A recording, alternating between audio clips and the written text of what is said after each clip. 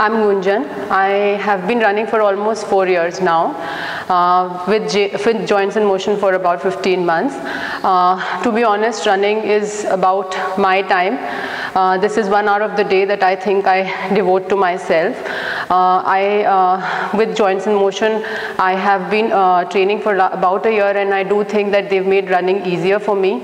I no longer think that half marathon is not achievable.